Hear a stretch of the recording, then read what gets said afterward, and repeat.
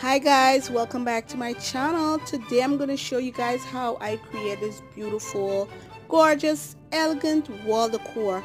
This diy is a overstock inspired diy overstock had this item for $100 and i basically recreated this for less than five dollars. The only thing that i bought was some bamboo skewers from walmart and I use some recyclable glossy silver and gold box. So continue watching.